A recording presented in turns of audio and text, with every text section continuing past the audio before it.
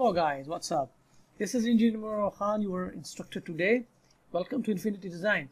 Today we are here with another tutorial. This is sketch received from one of our subscribers. And yes, today we will be uh, making a 3D model for this one. We already made this 3D model. This is how it looks like. And uh, yeah, uh, please follow the tutorial till the end okay? Uh, and if you want the, these files you can leave uh, comment in the section below and I will I can provide, provide you the CAD file for this one. I'm using SolidWorks 2018 so I hope you like this tutorial and uh, let's start.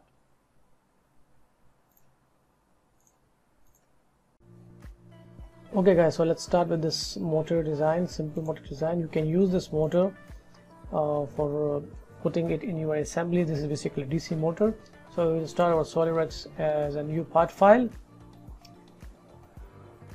We'll start with a sketch. Click on the top plane. Click the circle command. Use the origin as a reference. And then click on the smart dimensions.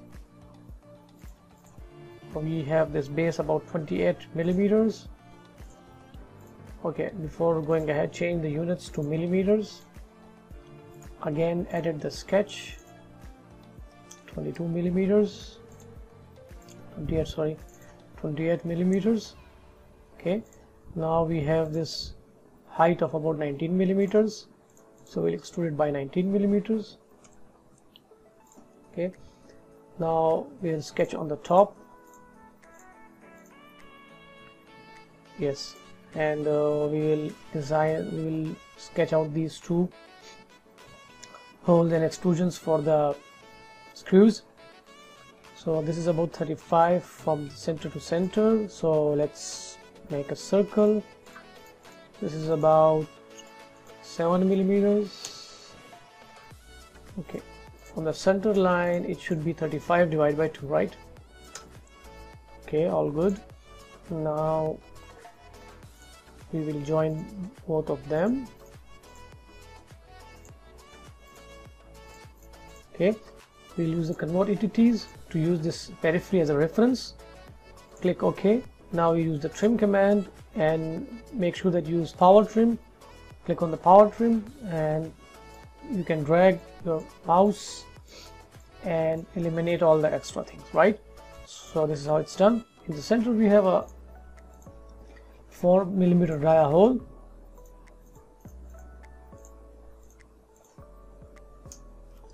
so we add that also.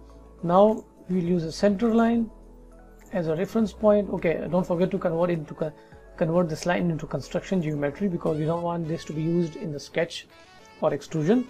Now we'll use this reference line to mirror this okay? So go to the mirror entities drag, drag your mouse button to select this sketch click on the mirror about click on this reference line click ok. Now go to features use the extrude boss command. Okay mm, you can change the direction of the extrusion by this. Give it a length of one millimeter. That's it. So we are done. Now we'll save this file for reference. So for further use now we go to sketch command. Click on the stop. Make it perpendicular. Now we have this part to be made. So this part is about at 8 millimeters so let's sketch a circle uh, use the smart dimension. Don't forget to use smart dimension for every every dimension you use okay? Uh, we'll give this 8 millimeters. And this is about this is about 9 millimeters. And now we'll use to extrude it about 1.5 millimeters this portion. Okay extrude about uh, 1.5 millimeters. That's it now again we will sketch on the top. And uh, let's see what's next. Okay when we see the shaft shaft is about 5 millimeters and then okay 5 millimeters in total. Okay this is 10 this is 6 okay this is 1.5 so 6 7.5 so this is 2.5 basically in the middle okay. So this is about uh, 5 millimeters okay? So use the circle command. Okay when you drag your mouse here you can check a reference point at you can find the center of the circle. And now with the help of the smart dimension give it a 5 millimeter dia okay? So this is about like you can use different methods because we, we can extrude it all the way up and then we can extrude cut. Okay.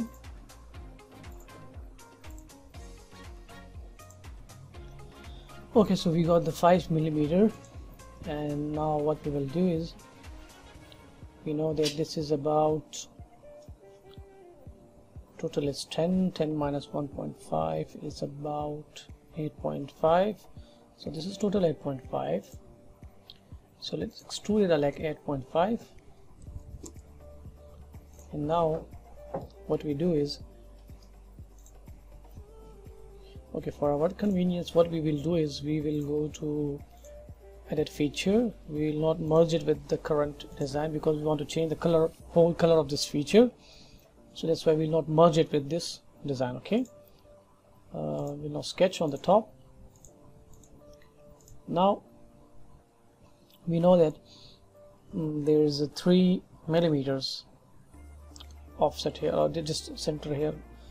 Uh, die inside die at the middle this is three millimeter. So what we will do is we will take a center line and uh, yeah. Then go to offset command. That's 1.5 on one side and make it bi-directional so you get offset on the both sides 1.5 millimeters 1.5 millimeters. Now we know that we got this offset. We'll click on the convert entities to take the outer periphery as a reference. Now we will use the trim power trim command to trim the extra lines like this in a one go. And now we will trim extra on the sides. Now we got these closed features uh, closed sketches. And we know that this is about at the height of six millimeters. So now we go to the features extrude cut and give it a six millimeter dimension right? Okay this is all done almost. Uh, just save the file. Now we are left with this side uh, extrusion. We got the reference dimension here. That's about 17 millimeters so what we'll do is we click on the sketch command here now here. Now we take our line make sure that this is horizontal line so you can click right uh, click on the line click on make it horizontal. Then we take the reference from here which is about 17 millimeters. Now this is about total 14.6 right? So what we do is we take another center line reference. Make it construction geometry. Take an offset. Click. Use the bi-directional tool and click on 14.6 divided by 2 yeah this is 14.6 so it takes the offset. And yep, you can increase this. Now again we use the power trim command. Trim the extra lines. Okay this is a very useful tool now we again go to convert entities and take this outer periphery as a reference. And then again we use the power trim tool to power to trim the excess okay? This is how we do it. Now this is at a certain offset distance. So we don't have that offset distance here so we can we can just um, assume that to be at least two millimeters. Let's take an offset here. Two millimeters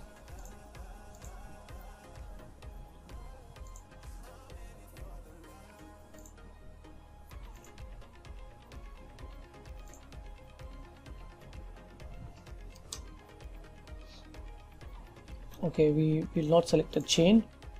Select this line and this line okay? Oh, yeah i guess one millimeter is, is, is looking fine. I guess this will be one millimeters okay?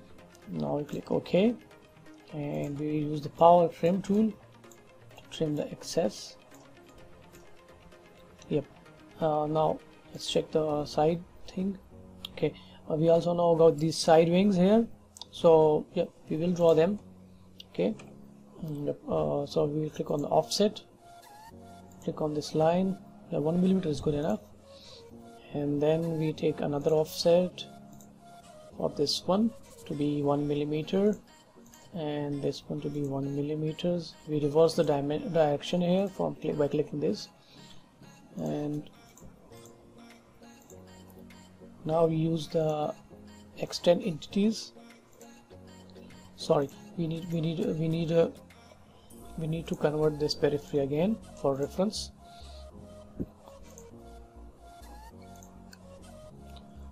Can undo this we will remove this line and again convert the periphery. So there is no doubling here. Now we use the extend entities because the line extends to another ex to uh, the limit of another line okay? It's, it cannot be extended freely okay? You must have another limit on the other side now we use the trim command to remove the extra. Okay. We don't need this one we don't need this one.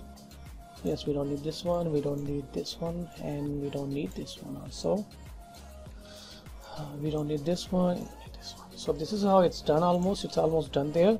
Now we'll extrude it till uh, the bottom I guess or just a little above the bottom check if we have the dimensions. No we don't have the dimensions but we can assume it.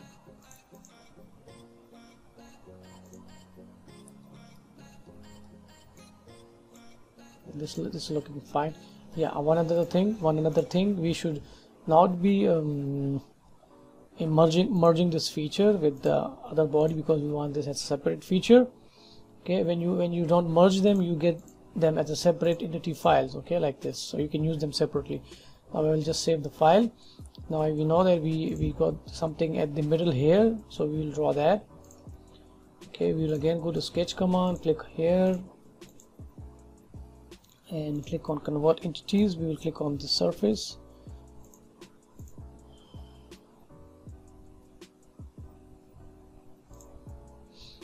We'll trim the excess the extra lines. Okay again click on the convert and click this one. Use the power trim again. And now again extrude it.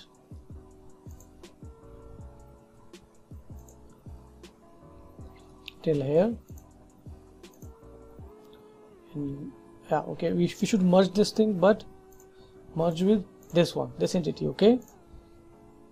That's how it becomes a part of this one okay? Now we save the file okay we are almost done right here. Now we will be using we will be making the front window here. Making the front window here which is about uh, from the top it's about 2.5 okay 2.5 from the yep. So it's basically a rectangle. Okay a 6.5 into 1.5 okay so we will draw a rectangle. 6.5 into 1.5 okay now to make it uh, at the center we will draw a center reference line. We will convert that to construction geometry. Now we'll move this select the sketch put it here. Now use the dimension tool and give this dimension which is about 2.5 millimeters. That's it now we go to sketch align. Now go to features extrude cut. Okay uh, we don't have to do that. We have to extrude cut it till here. Oh that's all. So this is how we do it. This is almost done. Now what we will be doing is we will have it some colors the gray the gray. Now we will add some colors we are going to add some colors now. And yep we can give it blue. So we got these bodies here. So when you click on this right click on this. Click on the body. So the whole body that we already made sep separately will be colored. You can use green colors. You can use blue color. And you can use any color okay that that's to you uh, yeah. It's good. It's looking good. Uh, we'll use gray, gray color for this one.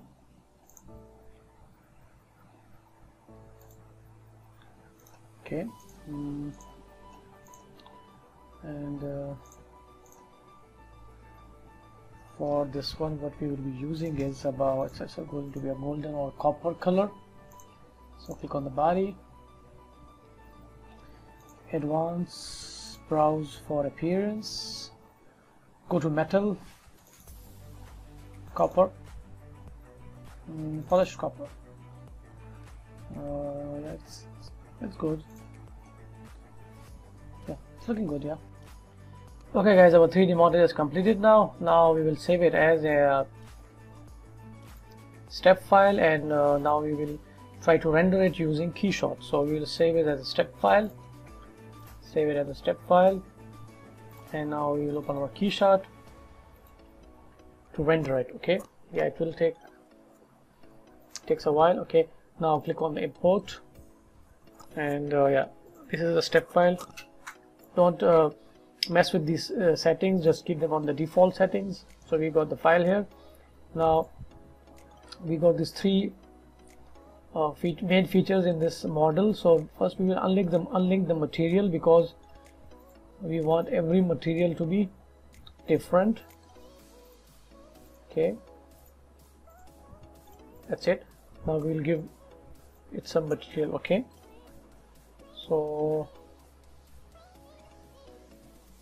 okay this is for the body. Alright, this one's look good. Now we use soft shiny blue one for this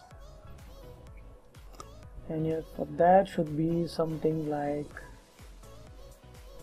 golden or copper. Let's go to metals. Brass. Yes I can use brass. This looks too much shiny okay? I, I don't need it. I don't need it I need it a little bit rough you know no it's not looking good.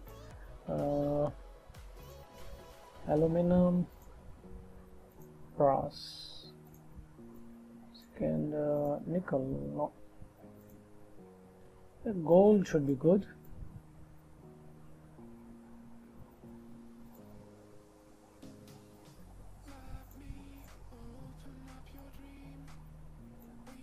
No it's not looking good. It's not even looking good okay uh, let's have another one.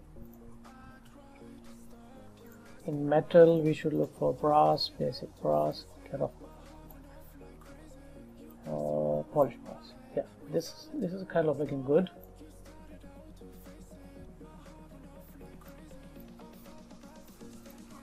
Okay go to the environment ground reflections. Okay add them ground reflections. And uh, yep now we'll go to render okay and yeah, uh, click on the sharp texture filtering give it some shadows. That's it. Click on the render yeah it will start rendering. You can use different settings uh, for the rendering. You can even change the environment but just just for the tutorial we are just going for some of the basics. So yeah. It will it takes some time to render so you have to wait for a while.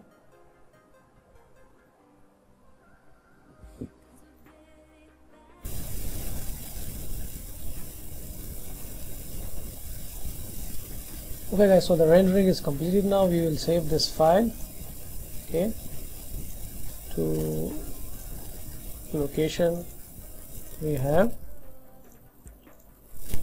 and that's it. I hope you people like the tutorial. And yep. If you have any questions you can leave comments in the section below. Yeah and we can work with this rendering. We can make it even better. Uh, so it can all happen. If you have any questions please leave in the comment section below. Peace out